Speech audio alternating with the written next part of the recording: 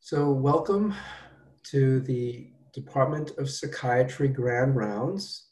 Today's event is co-sponsored by the USC Center for Mindfulness Science.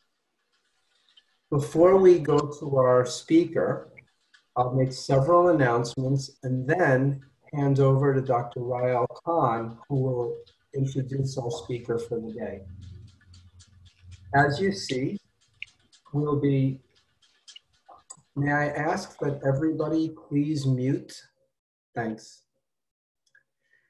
Today we'll be enjoying a presentation entitled Enhancing Well-Being and Mindfulness via Ultrasonic Modulation Philosophical Challenges and Clinical Applications by Dr. Jay Sanguinetti from the Universities of Arizona and New Mexico.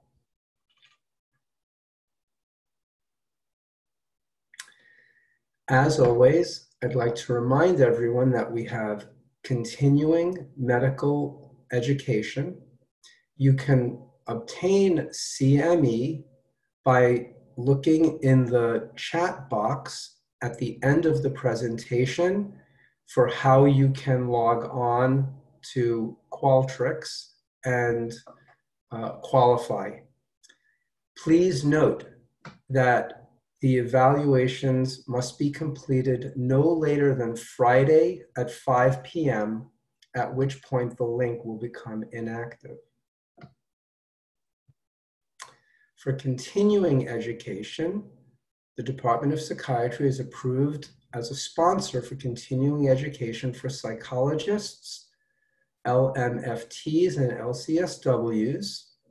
To earn CE credit, licensed therapists must be present for the entire program and complete an evaluation. Similarly, you'll be able to find that link in the chat box at the end. Please note that today's grand rounds is worth one CE credit. We apologize, the flyer mistakenly noted 1.5.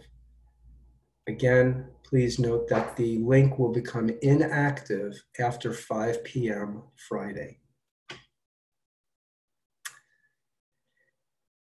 For today's program, the information and materials presented in this session belong to the instructor Grand Rounds presentations and materials will be distributed to members of the Department of Psychiatry.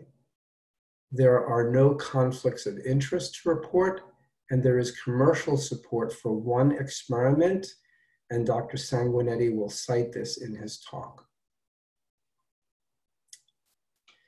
Before we move to the presentation, I'd also like to take this opportunity to remind everyone in the department who works at County that we will be doing the provider time study in June from the 1st to the 14th. And it's absolutely imperative that you list all of the activities you perform on behalf of the county facility during this time, whether they are done in person or remotely. And we can now move to the main portion of our presentation, and I'm happy to introduce Dr. Rael Cahn, who will tell us more about our speaker in the program today.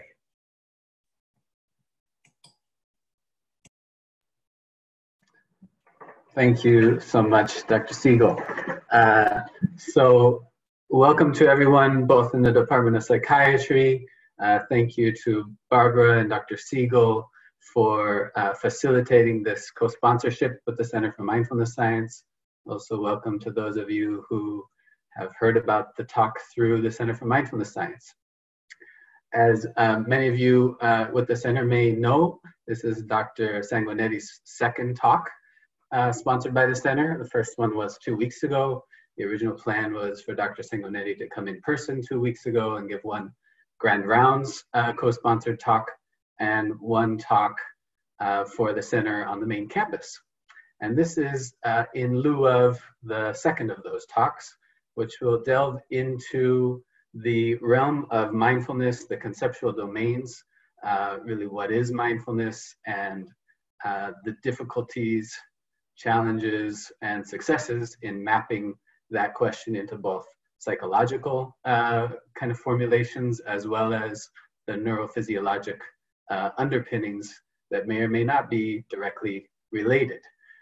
And of course, you know, some interesting uh, philosophical questions come up in regards to the study of those subjective domains of experience uh, that are encountered through mindfulness practice and the change in subjective experience. There's not only the changes in equanimity and emotional stability uh, and the felt experience of being in the body in the moment, but there are also interesting changes on the experience of self. And this is one of those areas where you really get into existential questions that uh, to purport that they are mapped in a direct one-to-one way uh, onto brain states is a bit of a stretch for some people. And it is also one of the key questions that those of us studying the neurophysiology of meditation and mindfulness are confronted with on a regular basis. And in some ways, Dr. Sanguinetti's work is really at the cutting edge of that question because of his interest in applying neuromodulation to the training in mindfulness so as to see whether there are possible um, uh, beneficial boosting effects of changing brain circuitries in the, in the, through physical manipulation. So um, just a few extra words of uh, introduction for Dr. Sanguinetti. Um, his training was in philosophy, neuroscience, and cognitive psychology, and dissertation investigated the neural processes of conscious and unconscious visual processing, uh, specializing in psychophysiological measures, EEG, fMRI, visual perception, emotion, and um, especially over the last years, mindfulness meditation. Uh, his team has been investigating novel forms of brain stimulation, including the use of ultrasound and light-based stimulation to enhance memory, perception, and well-being, and in particular, uh, well-being through the modality of uh, effects on mindfulness. Dr. Sanguinetti has published widely from topics on the neural basis of vision and temporal dynamics of perception to understanding how the brain changes in Parkinson's disease and schizophrenia. And current interests are largely focused on non-invasive brain stimulation to enhance cognition and well-being. Current focus of investigation is whether focused ultrasound neuromodulation can augment mindfulness practice. And this work is being in, done in collaboration with Shinzen Young, uh, a longtime uh, and well-known and respected meditation teacher who's joining us uh, for the presentation today.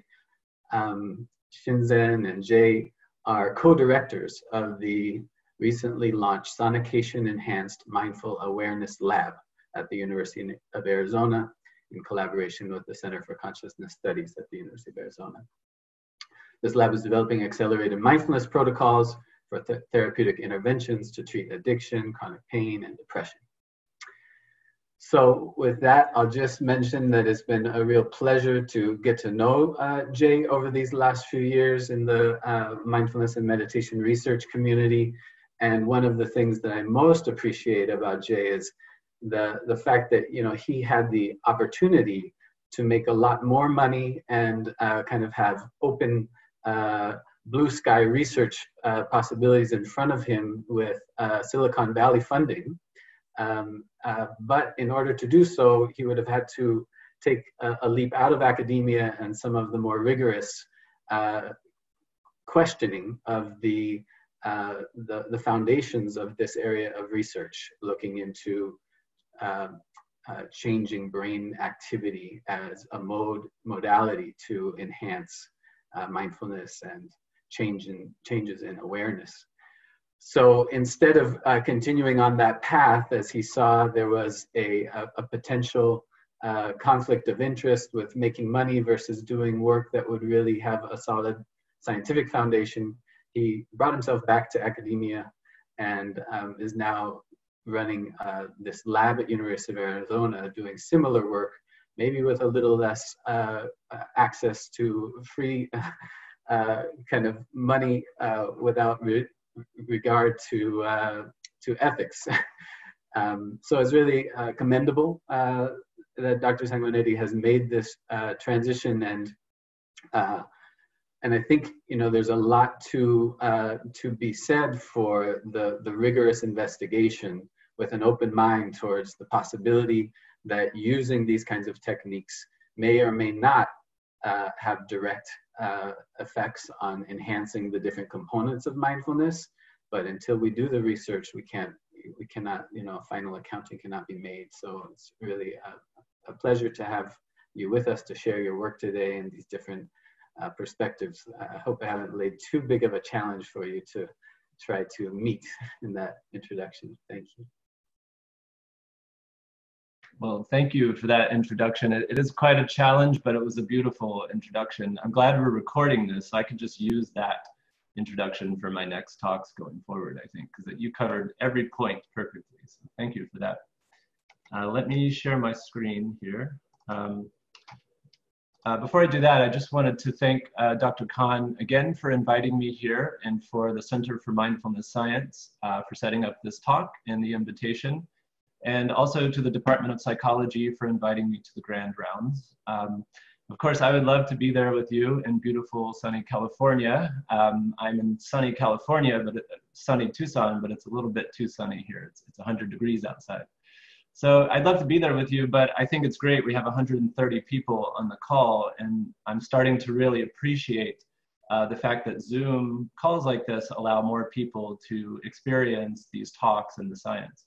Um, so I'm happy to see so many people on the call and I thank everyone for joining. Um, so I have about 40 slides, uh, which I hope to get through by the end of the hour. And then um, as Dr. Cahn said, we have Shinzen Young on the call as well, who co-directs the lab that I run at the University of Arizona. So Shinzen's really our contemplative scholar expert. And if you have questions afterwards for him, um, he can answer those and I can answer all the scientific questions you have. And we hope to have about 30 minutes for that at the end.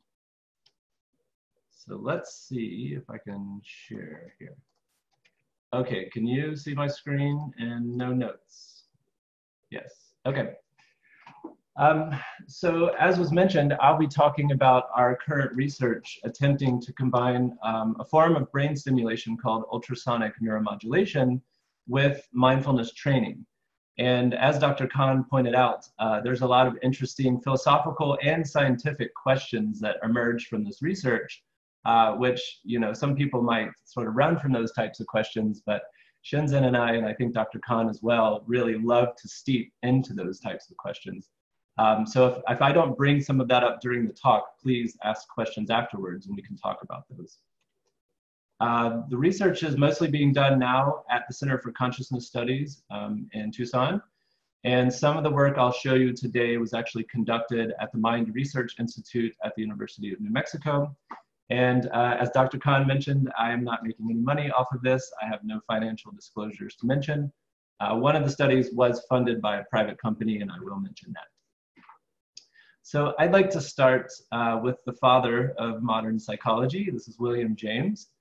And he says, Could the young but realize how soon they will become mere walking bundles of habits, they would give more heed to their conduct while in the plastic state. We are spinning our own fates, good or evil, and never to be undone. Um, I love this quote because William James is really getting an, at an idea, I think, that resonates with most of us that our habitual thoughts and feelings and actions build into our habits of mind and that those habits then shape our actions and ultimately shape who we become. Now as we know today a couple 120 years after uh, james said this um, that never to be undone part was actually not right.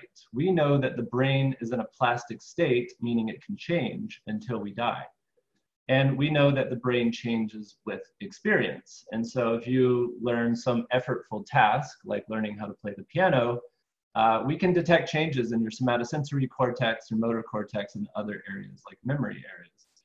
And so today what we're going to talk about is another form of mental training called mindfulness, uh, mindfulness practice. And you can think of this as another way of changing those habits of the mind and as Rael, as Dr. Cahn was pointing out, also that may change the brain.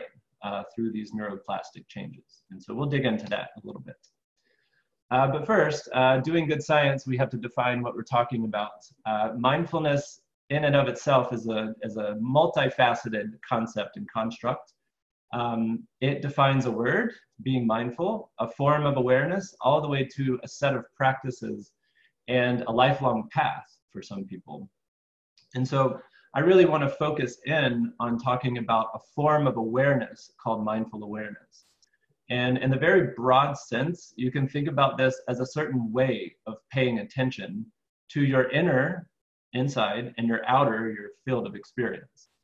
Um, now, that's a very broad definition. That would be very hard to study that in the lab, so I'll hone in on that definition a little bit. But this certain way of paying attention can be a state. So you can have a state of mindful awareness, or you can have a trait level of that form of awareness. And what that means is that you have a baseline level of mindfulness that can then be trained, and you can elevate that level of mindfulness, going from states to traits. Now, this in the science is the big question mark. How do you go from state to traits, and how does the brain change?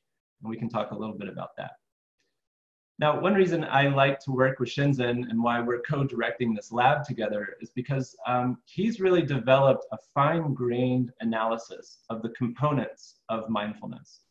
So you can think of these as three core, uh, three core attention skills, uh, like sensory clarity, which is being able to track what's happening in your sensory stream. I like to think of a baseball player who has developed the skill of watching a baseball at 100 miles an hour and hitting that baseball. So you can do that for external stimulation. You can also do that for your internal phenomenology and tracking everything that's happening at time. Uh, concentration power is basically your ability to focus on what is relevant.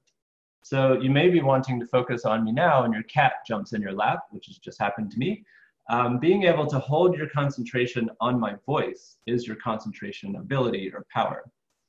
And equanimity is the ability to allow your sensory experiences to occur uh, without pushing them away and without sort of holding on to them or grasping onto them. Uh, you guys had uh, Dr. Dave Vago a couple weeks ago give a, a speech in this lecture series. He defines equanimity as an even-minded mental state. So regardless of the affective valence. So whether you're experiencing something pleasant or unpleasant, equanimity is being able to have this sort of even-minded attitude towards it. And what I find really interesting um, for, for psychological interventions is that the development of this skill of equanimity um, really can have positive clinical outcomes. So um, you can develop something that's called decentering in the contemplative literature, which basically means as you develop equanimity, you sort of get this mental space, this mental distance from things that typically would trigger you. So if you think of someone who's got an emotional reactivity problem, for example, having a little bit of decentering allows that to occur but then they don't get so sort of swept away by that experience. And then that obviously can lead to uh, cognitive reappraisal or healthier processing of stimuli, for example. So uh, the idea here is that these three skills can be developed and through mindfulness practice, obviously, and that they work together to create what we can call mindful awareness. So this certain way of paying attention is through these skills. Now, um, there have been tens, uh, almost 10,000 studies published looking at the effects of mindfulness or trying to look at the brain effects of mindfulness as it changes both behavior and brain and the body. That's from uh, physical health, improving immune function, all the way to working as a clinical intervention um, for things like uh, chronic pain, which I think the evidence is pretty good for that. And I will mention we're talking about an eight week course of mindfulness interventions. This is usually called mindfulness-based stress reduction. Um, so within eight weeks, you can see a reduction in symptoms like chronic pain. You can see an enhancement of things like attentional control, so cognitive functioning, attentional switching, um, emotional regulation. And then within at least eight week, four or eight week courses, you can also see an amelioration of psychiatric symptoms like uh, symptoms related to depression or anxiety. So there's relatively good evidence. Uh, this field is still young, even though there's a, a, whole lot of studies that have come out in the last 20 years. um, we still don't quite understand the mechanism and sort of what's changing in the brain, but we can say within at least an eight week course that you can get a reduction in symptoms in the clinic. Now, if you continue to practice uh, for years and years, as Shinzen and I talk about, that tends to lead to what are called trait level changes in a dimension we might loosely call human flourishing. Uh, so this is your depth of uh, happiness deeply and broadly defined, your sense of meaning, uh, life satisfaction, self-compassion, and ultimately um, the, the sense of self and sort of the identity of the self begins to change, which within the right context, that leads to deep positive health outcomes and mental health outcomes. Um, so that's sort of the deeper effects from very long-term practice.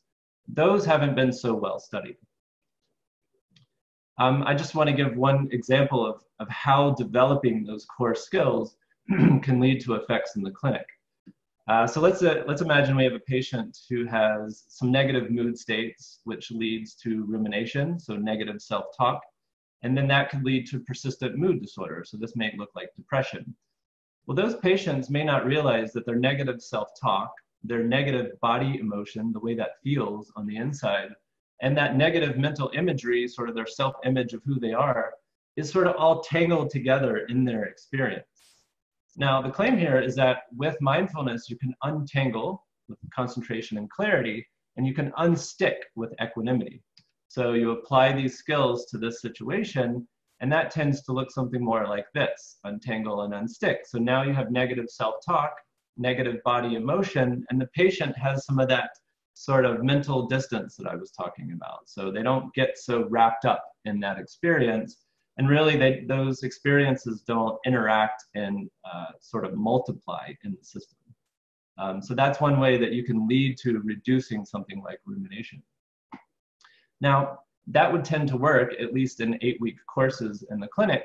Yet, uh, if you think about a patient that is, is dealing with chronic pain or really deep, persistent negative mood states, uh, it's really hard to get patients to sit through an eight week course or even a two or four week course, to be honest. And so um, Shinzen and I were looking at this problem and thinking about, well, do we have a way to uh, facilitate the mindfulness paradigms so we can actually bring those benefits, open up those benefits to patients in a shorter amount of time? That would then motivate them to continue the practice outside of the clinic and receive these longer term benefits.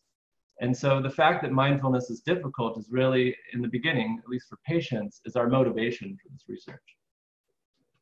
And so what we've been doing is uh, looking at a new form of brain stimulation or neuromodulation called ultrasound, uh, focused ultrasound.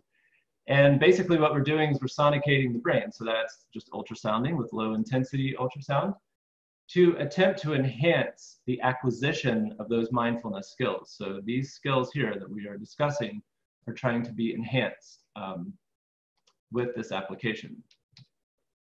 So I just want to give you two or three slides on what focused ultrasound is so you can orient towards it. Um, this is a very fast growing field. There's tens of, tens, 20s to 30s of papers coming up um, every few months. And the basic finding is that if you focus a beam of low intensity ultrasound into the brain, you can modulate brain function. You can perturb brain function for a short amount of time. Now, the advantage of ultrasound over something like magnetic stimulation is that you can focus it to a very specific point, millimeter precision, in this case to the motor cortex of a rabbit. And you can actually cause preferential movement. So in the paw on the left, and you can cause the paw on the, on the right to move. So you can be highly specific with this. And if you're using low intensity, so below about one watt per centimeter square, then you expect not to do any long-term change to the brain. You're, you're not doing any negative things to the brain at those low intensities. Of course, if you use high intensity ultrasound, you can ablate brain tissue, and that's done as well. But we know the limit and we know what to stay below. Uh, now, our lab and others in the last couple of years have taken this technology into human um, brain stimulation. Here, what you see is a lab that's using a single channel transducer to attempt to focus a beam into the ventral thalamus. So this is basically one of the deepest spots you can go in the brain. And they're doing this from outside, so you don't have to do any invasive surgeries or anything like that. And you can see how focused this can actually be. Now, they wanted to know if they could actually reduce, so inhibit somatosensory evoked potentials. Uh, so stimulating with a little finger touch and you're recording with EEG. And what you see is by modulating that intermediate circuit, the thalamus, you can actually reduce uh, with transcranial ultrasound relative to sham. So this has been replicated uh, across different labs and different types of human paradigms, and it's really a growing technology. Um, our lab in the beginning was really interested in trying to use this uh, transcranial focused ultrasound tech to develop into an intervention for depression. So our first studies were in healthy humans. We, we ran about 300 subjects when I was a graduate student, uh, all perturbing the right inferior frontal gyrus, which is involved in inhibitory control and emotion regulation. And the basic finding was that across those studies, we could actually manipulate mood. We could make people feel better. Now, in this study, we wanted to know um, what does the connectivity to that brain region look like? So we're ultrasounding into the right inferior frontal gyrus here, and we're asking what brain regions are connected at rest. This is looking at functional connectivity. So who's talking to who in a functional way? We did two minutes of ultrasound at that same region, and after ultrasound, you can actually see a massive reduction in functional connectivity. Uh, so this was the first study to actually demonstrate that you can change functional connectivity up to about 20 minutes with this technology. And now we're investigating this as an intervention for depression, and that's independent of mindfulness. So um, we sort of developed this interesting technology along with several other labs, and we sort of had this this tech that we thought could modulate in a safe way various uh, depths in the brain so Shinzen and I started talking about this and talking about that problem that we want to help more patients with mindfulness, and yet we can't get the protocols to work. Um, and so we started asking the question, can we actually use technologies like transcranial ultrasound to facilitate mindfulness training? Now, it turns out that Shinzen um, is friends to a lot of scientists and collaborators to lots of different labs. And he had actually developed these ideas um, a long time ago, thinking about using different technological interventions to facilitate mindfulness practice. And so uh, we started talking about this idea and about what, what could we do? What brain regions or what, what constructs would we try to change in the brain in order to facilitate the practice? Now, if you're using ultrasound, um, there's a couple different ways you could think about doing this. You could think about enhancing mindfulness by, um, by exciting brain activity, which you can do with ultrasound. Another way to think about it is using inhibitory ultrasound, actually make excitability less likely and try to inhibit something that's getting in the way of mindfulness training. So there's sort of two ends to that. Um, and we don't quite know the parameters for that in ultrasound, so I want to be honest about that. It's still a new tech, but we have some ideas about how to excite versus inhibit. So Shinzen and I were thinking about this and sort of looking at the field, looking at the science that was out there so far, and it wasn't really clear from the science, um, you know, which which uh, brain regions we could target in and of themselves. We really needed to think about this from the conceptual point of view and move backwards. And so we started thinking, well, if we could induce temporarily a state of equanimity, then we actually should be able to help people learn these other two skills faster. So if you have a baseline elevation of equanimity while you're trying to meditate in the clinic, for example, you should be able to learn how to track your sensations through sensory clarity and hold your concentration. And our assumption, our hypothesis, is that that should then carry over after doing the mindfulness training.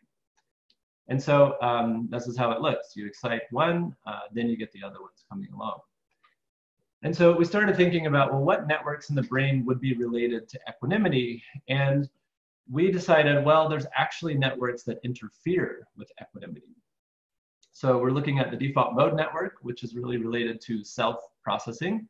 And I'll talk about that in a bit. And we're talking about the basal ganglia, the corticobasal ganglia loop, which is involved in habit formation, as William James was talking about. And our idea is that these two systems, in certain contexts, can actually interfere with equanimity. If you could temporarily inhibit them, you could give someone a taste of that equanimity while they're training, and they could get a boost in the practice. And so this is what the idea looks like uh, in our brains. So uh, inhibitory ultrasound would be sent into the non-equanimity hub, so like the default mode network. Our first hypothesis is that would enhance equanimity. Removing a barrier to equanimity. The second hypothesis then is that we should be able to enhance the training of mindfulness, so concentration and clarity, by enhancing equanimity. So if you're following here, we're inhibiting an inhibitor, we're releasing equanimity, which should make it easier to train in the other mindfulness skills. And then that leads to positive behavior change in the clinic, which ultimately would lead to well-being. So that's the picture of the sort of hypothesis chain that we're testing. And right now we're at this point. So this is what I'm going to talk about today. We were going to start testing this point uh, this year, but of course, like all of us, uh, this global pandemic has slowed things down a little bit. Um, so let's talk a little bit about the default mode network. I think as most people know, uh, this is related to an idling process. So if you're not doing a task, you tend to go into what's called the default mode. It has to do with self-talk, with mind wandering, planning for the future. Um, the brain regions involved actually have to do with all kinds of other cognitive processes too. So this is a highly debated area um, in, in the sciences. Probably has to do with switching between internal and external, for example. But what we know is that there's likely core hubs in this system. And if you look at the network of brain regions, the idea would be if you could inhibit one of these core hubs, which is here and here, posterior cingulate, medial prefrontal cortex, you could actually uh, down-regulate the integrity of the system for a short amount of time. And I want to be very clear, we don't want to um, permanently change the default mode network. We don't want to permanently down-regulate the connectivity, we want to try to do it while people are learning meditation. So the hypothesis is if you can take this offline with transcranial ultrasound, the whole system has less sort of integrity. And while the person's trying to meditate, that should help them with the meditation practice. So uh, why do we think that's even a possibility?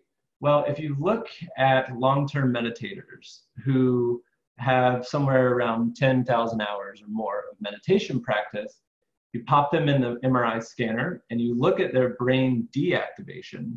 What you see is that while they're meditating, so these are different types of meditation uh, techniques, those two hubs, those yellow hubs, PCC, medial prefrontal, those turn off or, or down uh, activate relative to baseline.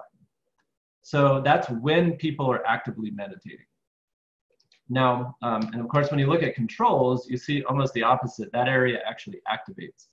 Now, if you put someone in the scanner who has rumination disorder, like a person with depression, you actually see more of this pattern as well, but it's much higher. Rumination tends to overactivate the default mode system, which makes sense. It has to do with self-representation, self-talk, and sort of meaning of the self and things like that. Now, if you look at the functional connectivity of long-term meditators, and you seed, so the back hub of the default mode network, and you look at what it's connected to in meditators versus controls, it seems that now the, the default mode hub is connected to an attention monitoring system. So that has been purported as a long-term trait level change. Um, and as we can talk about after this talk, there's no pre-post long-term evidence of this. So this is just looking at long-term meditators. But the idea is not actually that there's less connectivity within the default mode, but now the default mode is connected to an attention monitoring system. So there's like a sort of system monitoring the self, and that, that sort of makes sense for a long-term practitioner. Now, there's a, a, little bit of evidence that at least eight weeks of training leads to that same type of connectivity change. So this is mindfulness-based stress reduction. This is uh, Richie Davidson's lab. And recently what they've shown is relative to control uh, and a waitlist control, uh, eight weeks of mindfulness-based stress reduction leads to more connectivity between the default mode hub and the attention center that I was just talking about previously. So uh, as far as I can tell, this is the first piece of evidence that there's a relatively longer term change. Now we're still talking about eight weeks, uh, but at least within eight weeks, you do see that change. Um, and so getting back to thinking about the posterior cingulate or the default mode network as related to equanimity specifically, um, what evidence do we have to think that that actually down regulating the posterior cingulate would increase equanimity? Well, uh, Jud Brewer did this really interesting study, um, I believe when he was at Yale, where he put people in the scanner and he actually showed them their brain activity in real time. So this is called fMRI neurofeedback. And this is basically what they saw. So they had a baseline task, so they know what the baseline level of default mode activation is. And then if they go below that baseline in the scanner, the blue line comes on. If they go above that baseline, the red line comes on. And they were doing this clever task where they were actually trying to link in the moment by moment over 30 minutes, does that relate to the experience of the person, to the phenomenology? And lo and behold, it seems to relate. And so when people who have meditation experience are in the scanner and they're actually applying a practice, so they're doing uh, mindfulness practice, this is what you see. In the beginning, it's like, oh my gosh, my mind is activated. I'm talking to myself. Now I'm doing the practice. And this mapped right on to them doing that practice. Now, the most salient effect was actually an effortless doing, which is a construct related to equanimity. So remember, that's that non stickiness, the ability to sort of get some distance and let go. Um, and so this sort of non efforting concept is related to that. It's not the same thing. But this actually continued lower than my graph. Now, here's what you see in control people who just learned how to meditate. Uh, for them, they had a lot of self talk, a lot of self referential processing, and a lot of mind wandering and distraction. And that mapped right onto these red bars in moment by moment experience. And I will say it wasn't moment by moment, it's three seconds delayed, four seconds delayed, because that's how MRI works. Uh, but at least to your previous um, experience, that's what people were experiencing. So we would purport here then that while people are learning um, equanimity practice or applying mindfulness practice, or if they're experiencing less uh, self-interference, if you want to think about it like that, you should see less um, default mode activation. Now, um, there's more evidence from the psychedelic literature that those regions are related to self-processing and self-identification, so very interesting studies where they take people who typically have some, some clinical issues, they put them in the scanner and they give them psilocybin. So these are magic mushrooms. And uh, usually a pretty large dose in this study. I'm not really sure how they get people to sit still while they're having these psychedelic experiences in the scanner, but they did manage that. And basically what you see is a massive reduction in that default mode area. Again, especially in the back part in the posterior cingulate. Now, what's clinically clinically salient about that or relevant is that the more deactivation you get, the more uh, sort of non-self or self-disintegration experience people have, that experience actually predicts positive health outcomes in the clinic up to four weeks. So there really is something about turning the system off, it seems, and the relationship between that and the felt sense of self. Now we can relate that to the concept of equanimity, of course, because if the self is not grasping onto things or resisting things, you're experiencing the sensory world as it's unfolding uh, in the brain. The problem uh, with psychedelic literature and the mindfulness literature and looking at the default mode, if you look past about four weeks to eight weeks, it's really hard to see longer term changes in the system. And so uh, a couple studies have actually tried to combine psychedelics with mindfulness training. Uh, so these people are going through a five day mindfulness retreat, mindfulness based stress reduction type retreat, and they're doing um, one dose of psilocybin at the end. And they're doing what's called open awareness meditation, which is related to equanimity. And basically, what you see is that during the application of the mindfulness training, you have a reduction in the default mode network. Um, and it's during the practice, I want to point out. But what's really interesting is that if you look at the changes, so pre to post at five days, the only significant effect you see then in the default mode network is with an interaction between taking psilocybin and doing the mindfulness practice. So they're comparing mindfulness practice and a placebo pill to mindfulness practice plus psilocybin, and that's where you see this five day change. So mindfulness plus placebo actually didn't change the default mode activity at all. Um, and again, this is while people are meditating in the, in the scanner um, again. And so then if you look at long-term changes, so they looked at four months, uh, you see that those changes while you're meditating in the scanner at day five actually predicts uh, longer-term changes on this scale called the, posit- called the positive persistent effect scale. Um, Now, what's really interesting about that is actually at rest, these meditators, if they had increased uh, default mode activation, that actually predicted positive health outcomes. So at five days, if you increase the connectivity in the meditator plus psilocybin, that increased connectivity actually predicts positive health outcomes. That's really interesting to me because what that suggests is that um, during meditation, you may want to downregulate the default mode network to downregulate the integrity of the system. But afterwards, you don't want that to persist. You actually may want increased connectivity, which relates to the sort of flexibility of the default mode network. Um, so that, that was that point where I was saying we don't want to permanently change the, the connectivity. We just want to help people experience less default mode during meditation training. And so with that, uh, we developed the hypothesis that we should be able to first induce equanimity-like states by inhibiting the default mode network. Um, so these are healthy subjects, they're not meditating. And then if that worked, then we would try it in a meditation training paradigm. So the basic idea is doing resting state fMRI connectivity. We took people out of the scanner in this point and did inhibition of the posterior cingulate for 10 minutes. And then we put people back in the scanner to look at resting state connectivity. Uh, this is only in six subjects, so this is a pilot study. But within those six subjects, we saw massive changes in default mode network connectivity, uh, functional connectivity. So blue here is showing decrease relative to baseline. So after the intervention, uh, basically our, our connectivity between these two regions was massively decreased and also the precuneus, so the connectivity between the PCC and the precuneus changed as well. So then if you ask the subjects what their experience was like, uh, most of them experienced less self-talk. Uh, time seemed to go by effortlessly and very fast. And it was very easy for them to be in the scanner. So um, if you think you're increasing equanimity in that in that environment, that's what you might expect. If they they're uncomfortable in the scanner, they can let that go pretty easily.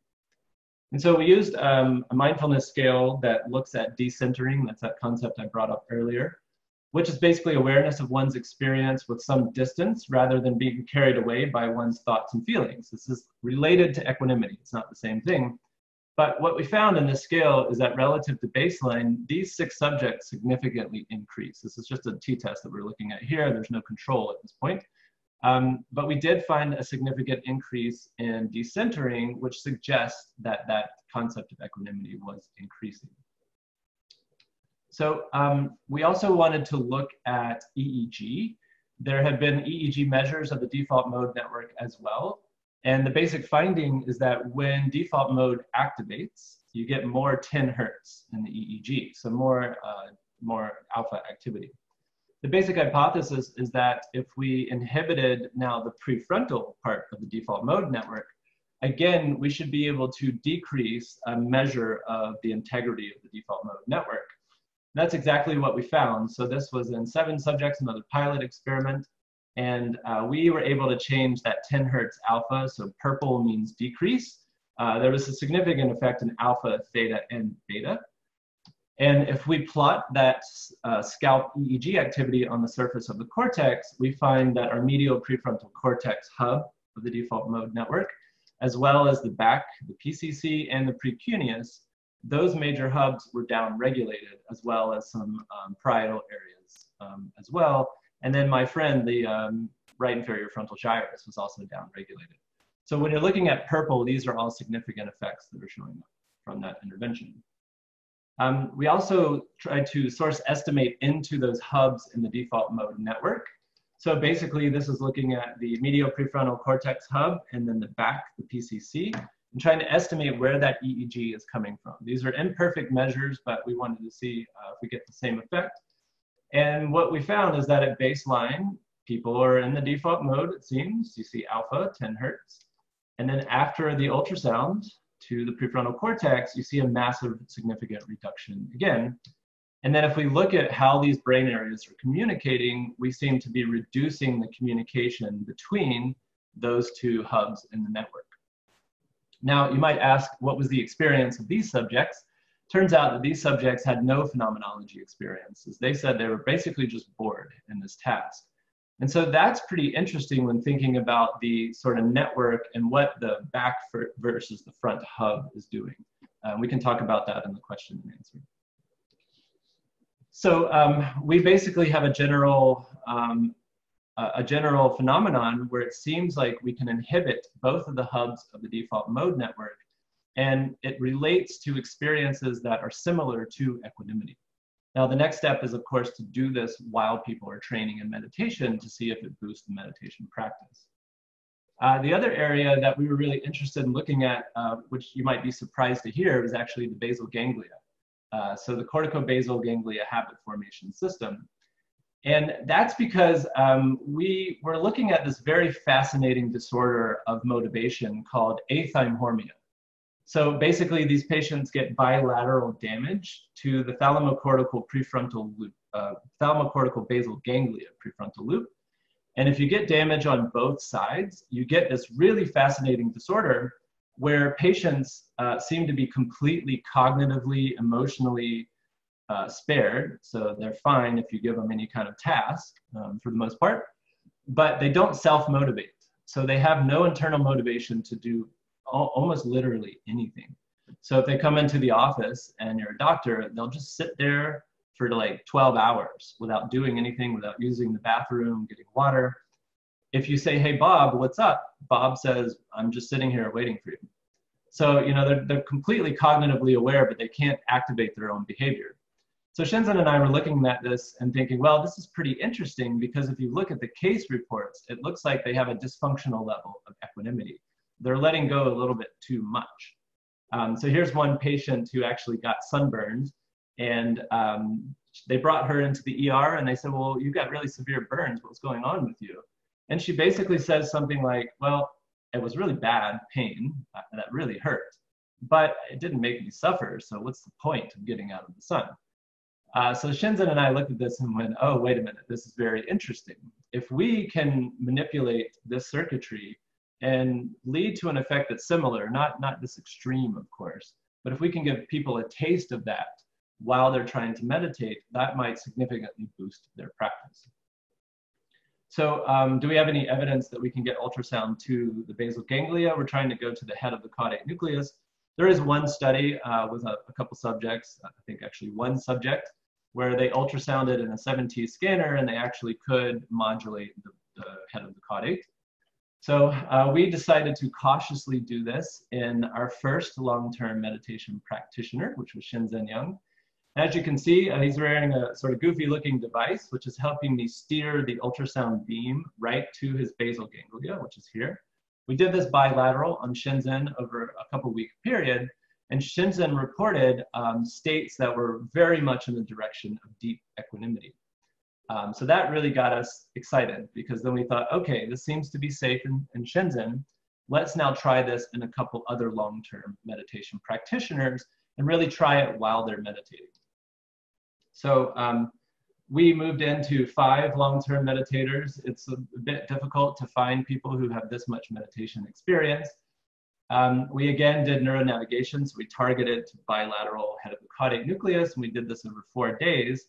And the basic finding with that same scale is that we could significantly increase that level of decentering. Now, you will notice if you're watching carefully that uh, long-term meditators have a much higher level of baseline uh, decentering. That makes sense, uh, you would expect that.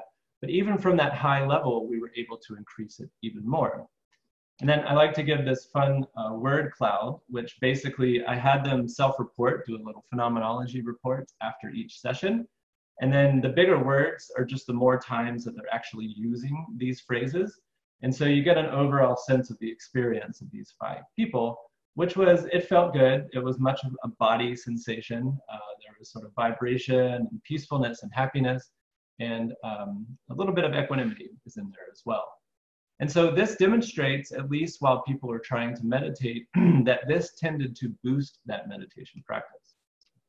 So, so we have a little bit of pilot data, and now we're trying to move from there into actually applying this during clinical practice. And we really want to know, can we go from inducing those states to enhancing those meditation skills, the trait level of those skills? Now, uh, our basic paradigm in the lab is to move from basic science, so testing safety and efficacy and replicating what we've done with bigger studies, to um, actually moving to combining this with mindfulness training to see if relative to sham or placebo, can we accelerate the outcomes? Um, then we want to, if that works and that's safe, we want to move to clinical translation where we're looking at this in chronic pain and addiction. And that's actually what we were gearing up to do right before the uh, coronavirus pandemic hit. And so we will continue that afterwards.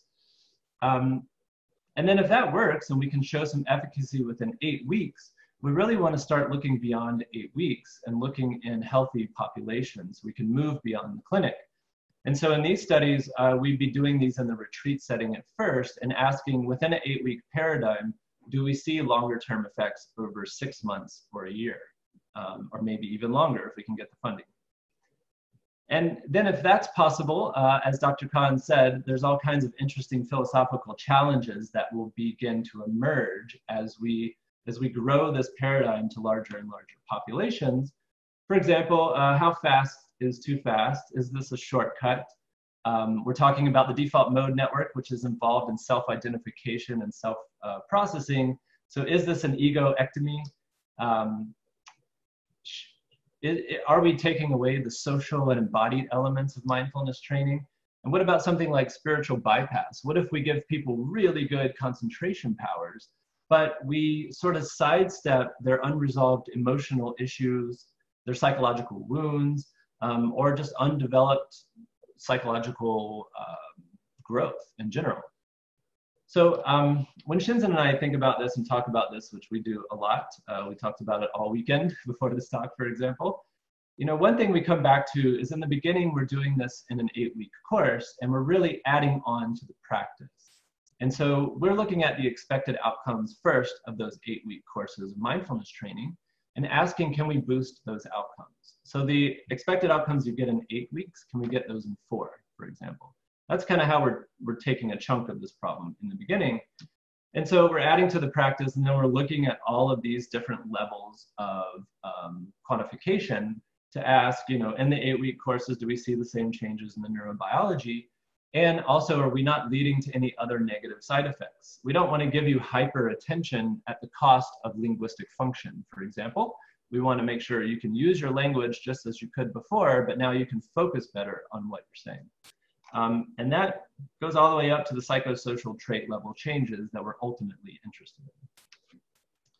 So um, it sort of zooms out from there for us as well, because we're not just thinking about a human being as these multiple quantified levels, but you also have to think about the human being um, from a holistic psychosocial point of view. You have to think about the whole human being. And so uh, we're, we're looking for ways to quantify these larger psychosocial outcomes for people as well. Um, and Shinzen's actually developed this really interesting um, table, which he calls the periodic table of happiness elements. And these are sort of the broad and deep levels of change. So uh, psychological change to changes in identity that you might expect if you increase those meditation skills like concentration and clarity. And so um, it goes sort of this way here across these levels. And then as you amplify concentration, clarity, and equanimity, you actually move down these levels. And so we're actually looking for um, met metrics like this and other metrics out of the happiness uh, science that's emerging to ensure that we're not creating a situation where a patient is psychologically bypassing some of the deep work that needs to be done. And actually the longer term outcomes are actually occurring for that person, uh, you know, as defined by them in the culture that they're in. So we need to sort of think very broadly about this as well. Um, and for my final slide, I think we're coming up on the hour, really what we want to do. So if, if, we can see that enhancing uh, equanimity by reducing the default mode network, for example, actually helps people gain the benefits over eight weeks faster, uh, we really want to take this into a two-month protocol where uh, we do some baseline measures, um, so behavioral and neuroimaging, fMRI, then we would bring patients into the lab in the clinic. We would give them the introduction, like the periodic table of happiness elements. So their psychological set, their mental set is sort of ready for expecting what should happen. Uh, then we give them some basic mindfulness training over the first week. Weeks two to four, they get sonication sessions, the ultrasound sessions, plus the training. So they're actually wearing a head unit, they're trying to meditate, and we're down regulating the default mode network. After that four weeks, we do some more testing.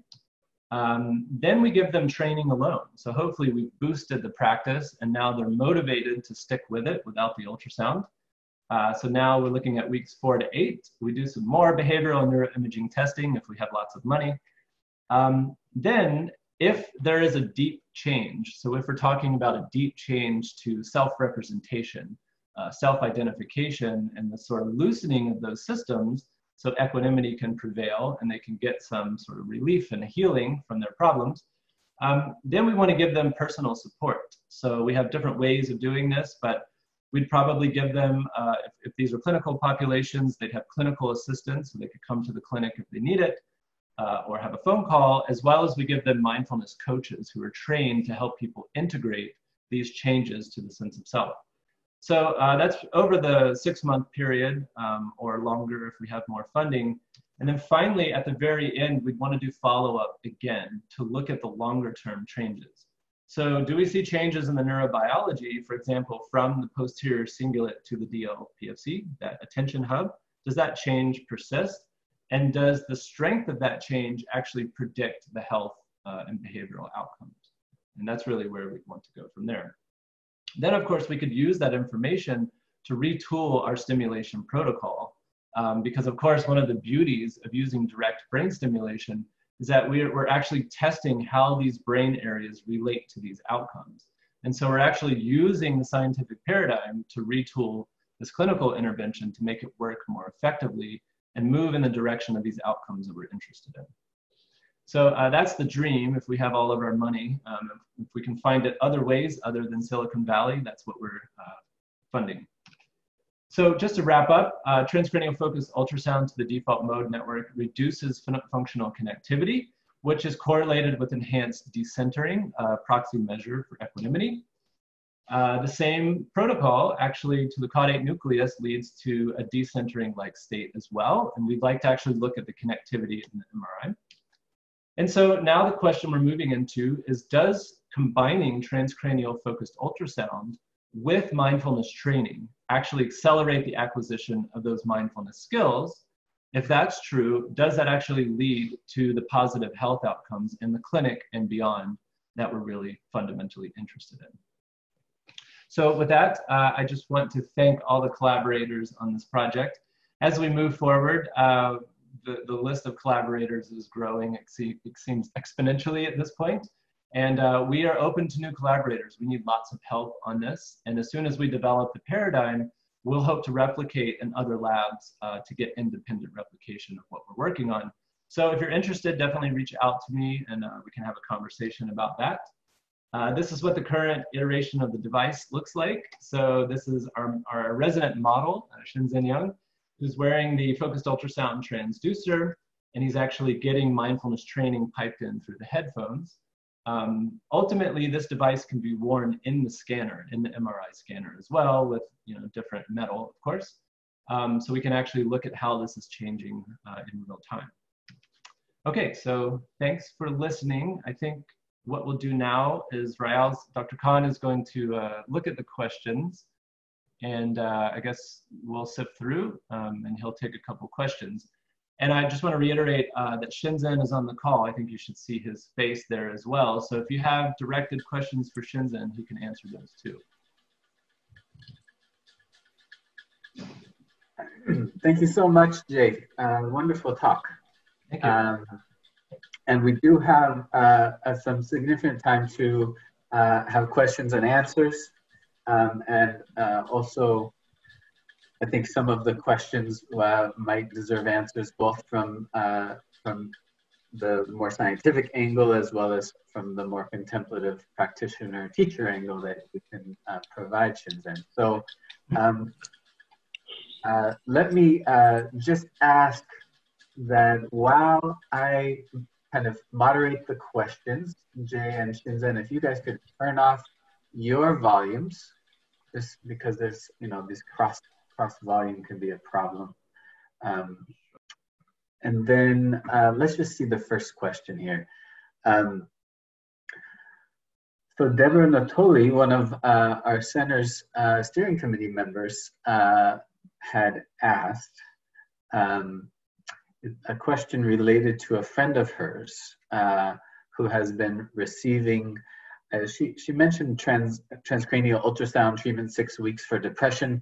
I think it might actually be transcranial magnetic stimula, stimulation because I don't think anyone is clinically offering in a kind of standardized way in St. Louis um, this transcranial ultrasound protocol that is very much experimental in the lab as of yet.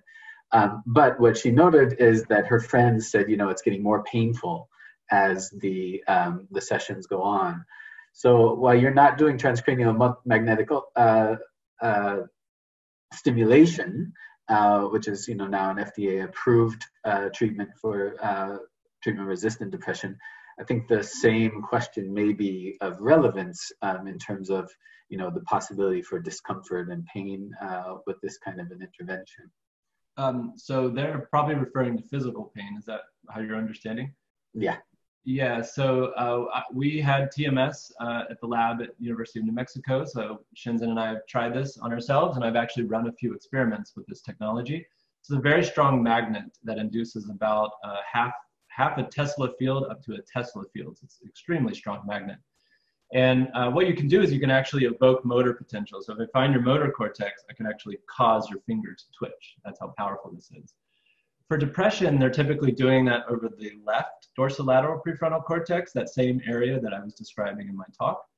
Um, and because of that, it actually causes your facial muscles to tense. Uh, and I experienced this often in lab when we were using this. That's very uncomfortable for people on multiple levels. It's actually painful. Um, you get a sort of startle response from it. And uh, some patients actually have a psychological sort of philosophical issue because it's something controlling your brain from the outside.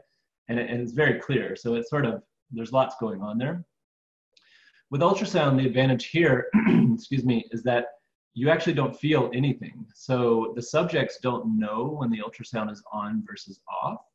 Um, in theory, now the ultrasound actually causes a little bit of reverberation in the skull, which I know sounds a little scary, but it's just the sound waves sort of moving around the skull.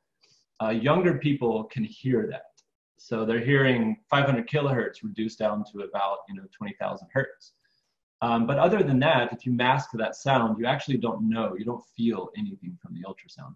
So that's a huge advantage from a scientific point of view because uh, it leads to less expectation effects. Like if I'm magnetically stimulating you and you're you're twitching every time, you know every time that that thing is on. Um, in my study, a lot of my subjects actually think they're all in the placebo condition um, because they don't feel or hear anything. They just say, well, you, I'm the placebo. So it's really interesting. You know, we usually see 60 to 80% of subjects reporting that they believed they were placebo.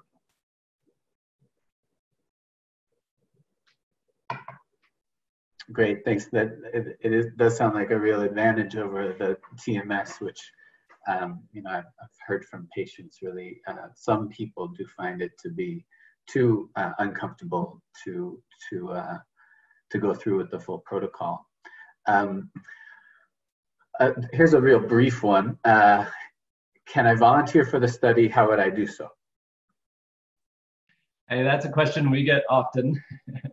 um, we were hoping to actually be able to invite volunteers for this study that we were planning on starting in April of this year. We had funding for that. Uh, we were about to hit the ground running when the coronavirus hit. Um, and part of that study, so that was the two, the, the two month study. Um, part of that was actually to do a little bit of uh, case study reports. So taking long-term meditators as well as new meditators and maybe doing an individual protocol and looking at the phenomenology. Now, I'm, I really believe in objective measures, and my background's in visual neuroscience, so I know how to really tweak objective measures. But I also think that the phenomenology is really important to capture and trying to relate those two. So uh, for that, we would actually have been able to invite people, we could consent them into the study, and they could be sort of uh, case study uh, reports from our lab. Um, but right now, our, our, IRB, like I think most um, review boards, are not approving studies for humans because of the coronavirus situation. So uh, we're putting that in and we're just going to wait until we can run new subjects. But at that point, we actually will be able to bring people in. Um, so I have a, couple of other ones um, that might be kind of combined. A few people have asked uh, something that I can quickly answer if this uh, talk will be available in some form uh, after, and we will be posting it on the Center for Mindfulness Science website, uh, which is mindfulscience.usc.edu under a section past events where we have all of our uh, past speakers um, presentations uh, uploaded. So that might take a week or so, but it will certainly be up there. Um, one uh, question related to the, the pain question is, uh, although I think you've clearly answered that, you know, one advantage is there's not physical pain. Were there any other adverse experiences that participants have reported uh, in your work uh, to date? Yeah, that's a good question. Um, most of my experiments that I've run have been in the mood manipulation category, so trying to develop that intervention for depression. Uh, we ran a total of almost 300 subjects, and uh, we had no negative. Uh, so if something bad happens in the lab in terms of a negative event, you have to report that to the ethics committee at your university. Um, so we didn't have anything like that happen. There were no, uh, you know, migraines to anything worse. Uh, we did have a couple participants have very interesting experiences. Um, so we had one location that was a control site to try to control from the right IFG, and one patient experienced um, an extreme state of flow, uh, for example, which we did actually report to the IRB just because we weren't predicting that. Um, since the patient had a good experience, or the subject had a good experience, that was okay. Now, when moving into the mindfulness groups, meditators, most, so, basically 99% of them uh, really have enjoyed this and it's been a very positive experience. We had one participant who uh, had some anxiety states that seemed to be released, which often happens with mindfulness anyway. So if you go on a retreat for five days and you sit, focus on your internal states, um, you know, for 10 hours a day, you might have some things like anxiety come up. So this was relatively normal for this person. Um, but it came up pretty significantly. And because they were a long term practitioner, they could actually deal with that. So that's one of the reasons we started with Shinzen first uh, and then moved backwards to other long term practitioners. Is we really wanted to make sure, in case something like that happened, they had the tools to actually deal with that. So we'll continue to monitor that as we move into the clinic, um, which obviously clinical populations will have other problems they're dealing with. um, a couple of the uh, questions are really uh, for Shinzen. And in particular, a few people are interested to hear you talk a little bit about your experience uh, while having some of these specific brain areas um, targeted. Um, maybe you have also an appreciation for the difference between the experiential domain uh, when different areas were being targeted um, and then also a kind of um, more detailed question in regards to that phenomenology. Uh, a kind of preface is it seems that changes in self-representation may be more prominent when the practice involves systematically, intentionally looking for what we call I, instead of only paying uh, attention to the contents of awareness. So um, this is regarding, you know, the the mindfulness protocol that you either have done or have in mind to do in combination with the, the stimulation, um, the, the transcranial ultrasound. So does the practice that you're planning to use involve turning attention away from what's in awareness to awareness itself, or is it expected to happen on its own? So the first question was my personal experience with the ultrasound. And the second uh, was um, uh, what technique are we planning on having people use? Um, uh, are they just going to uh, pay attention broadly to whatever, or will there be uh, something that might be more likely to uh, create an insight around self and so forth? that might be incorporated into the technique?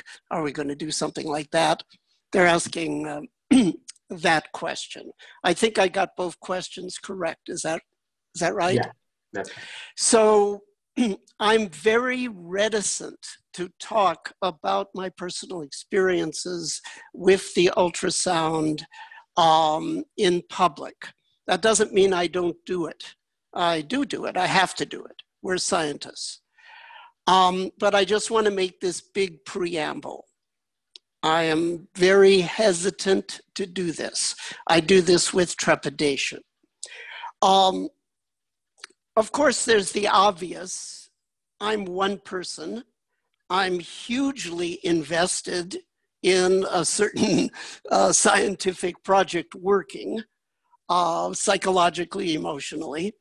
Um, and um, I'm not exactly uh, representative of most people that we are going to be working with. Most people have not lived in Asian monasteries for years and years and years and done old school practice um, essentially for 50 years, and before that, another 10 years learning the languages of Asia.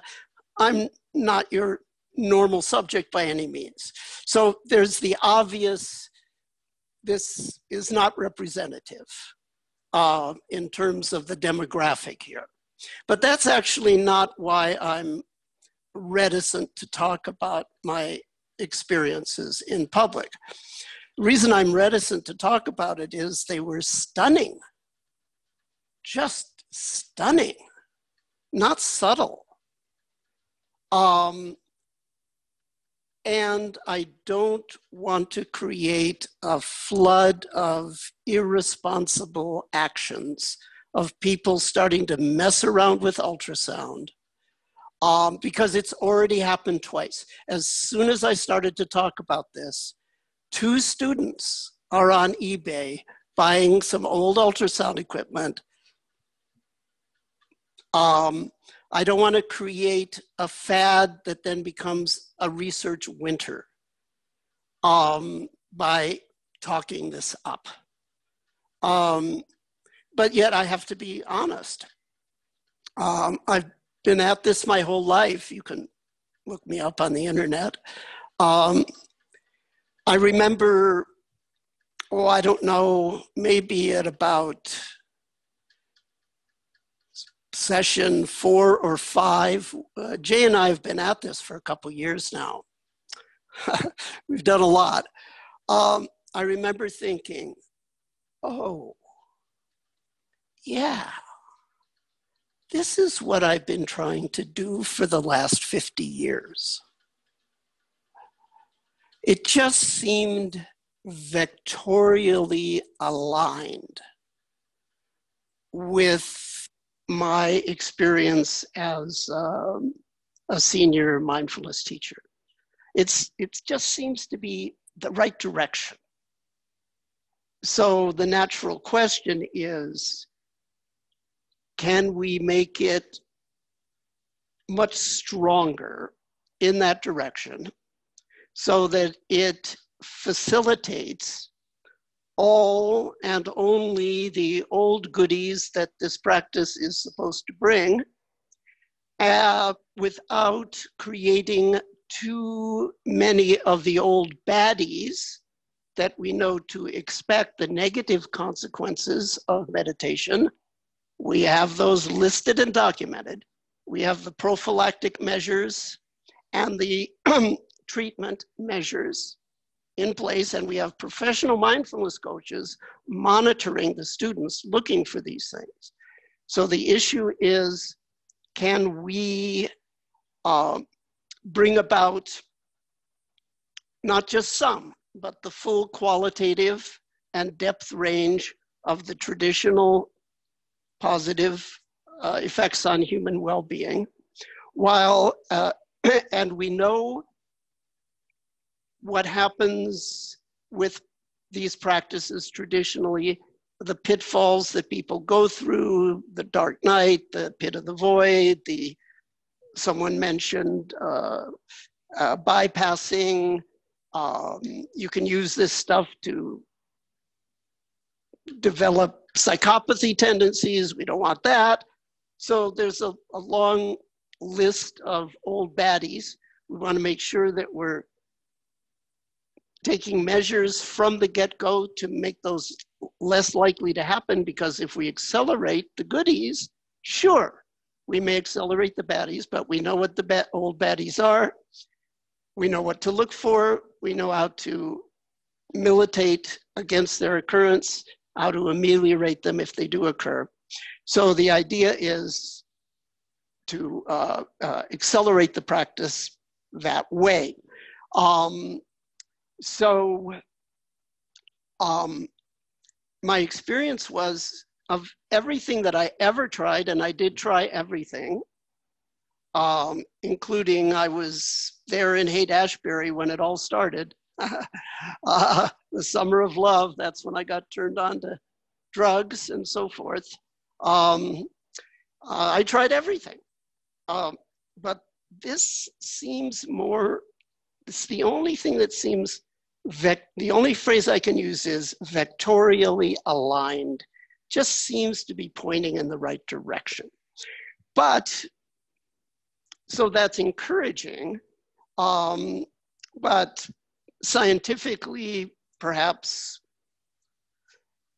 not that significant. Uh, in fact, not significant at all. uh, this is not science yet. This is just one person's anecdote. So that's what I would say about that. Um, as far as what technique, that's interesting because it implies that we would only teach one technique. But I want to do something that in the end is going to work well. And it's been my experience that different approaches work in different ways for different people at different times. So we're actually not going to teach them one technique. We're going to teach them a set of techniques with an algorithm for um, different applications in daily life. You can use this technique in this way, in this situation, to reduce uh, your emotional distress. You can use actually the same technique with a slightly different emphasis to deal with behavior change. On the other hand, for this other thing, we'll teach you how to do this.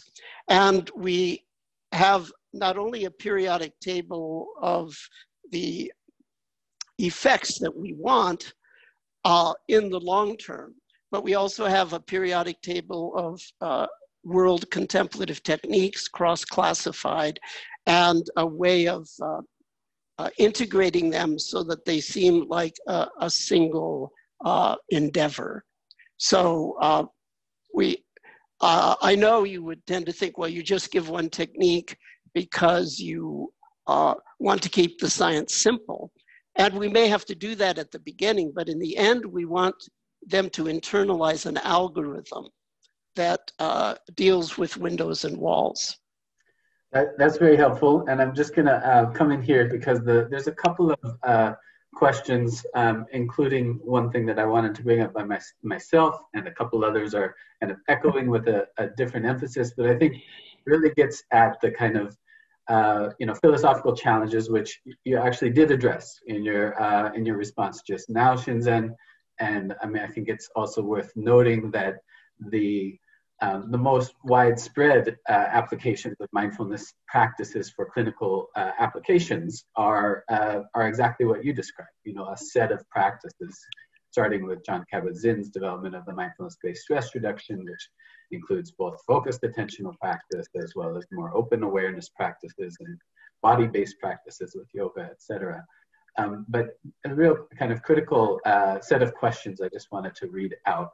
Um, one is, you know, the concern that what you are targeting as equanimity, um, you know, the the danger, dark side that you know you could think of it as, and you even drew the direct comparison to passivity uh, or athymhormia, and you know, especially the encouragement of that kind of state using neurostimulation uh, might have more danger than the development of the equanimous state of mind through the kind of disciplined self application of uh, attentional uh, engagement through kind of more standard mindfulness practices uh, of, from the ages. Um, so in particular, you know, the I think the kind of dark scenario that many people in the mindfulness field uh, kind of envision and fear is that you know in the in the face of the many uh, social uh, challenges uh, in the world now, this interconnected world of ours, uh, including uh, the uh, commodification of, of, of, cultures and ideas, and the you know the degradation of human social relations um, and our relationship to the environment. You know the the danger that somehow uh, mindfulness practices generally, or especially mindfulness practices as enhanced through these kinds of um, these kind of techniques, might lead people into some state of uh, passivity in the face of uh, social changes that um, really should be fought against. if you think about it in the kind of global sense of what, what we can do as a human species and uh, and you know within our each of our individual societies to really help each other evolve uh, in the, the most harmonious and positive way. Um, yes. And then. Uh, uh, and we have four minutes, and you're not done asking the question. I apologize, but that, uh, it's related the, to yeah. it's related to these other two ways of, of posing it. Um, so one would be uh, how did Leah Bacharain and, and Jeff Sugar. Um,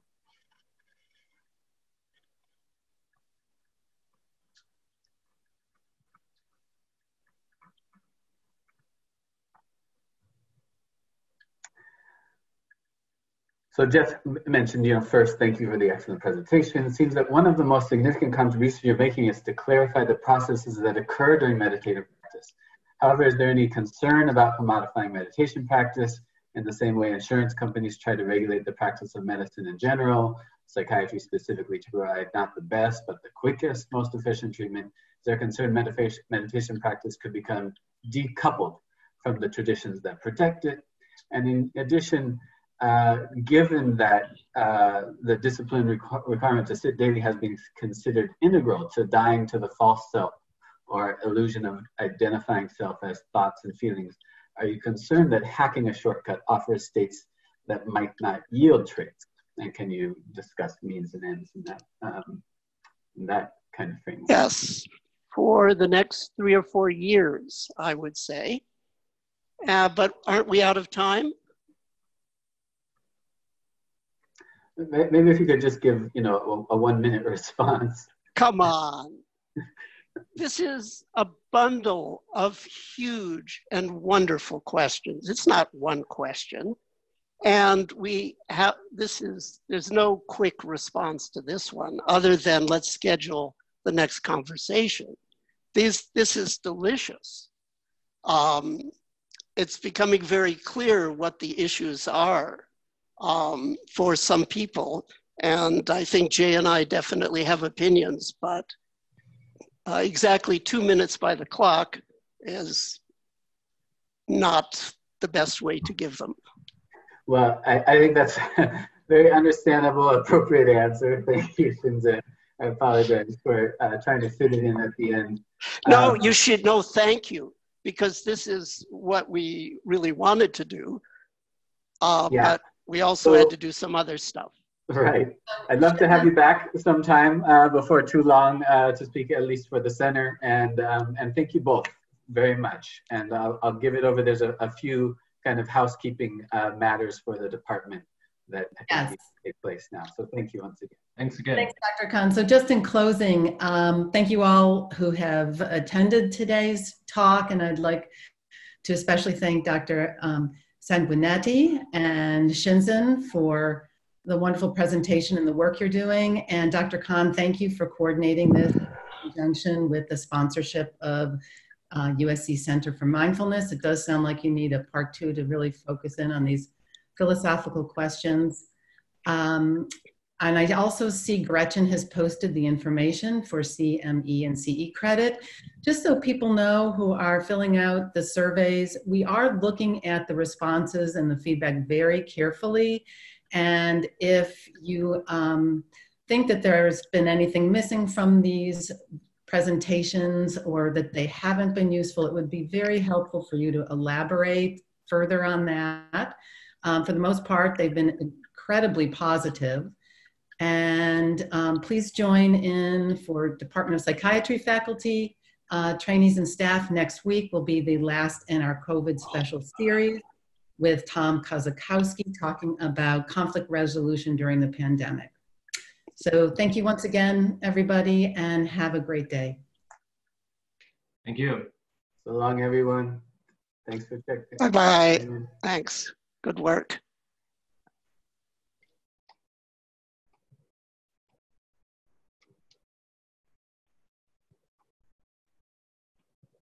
Thanks again, Jay. Nice to meet you.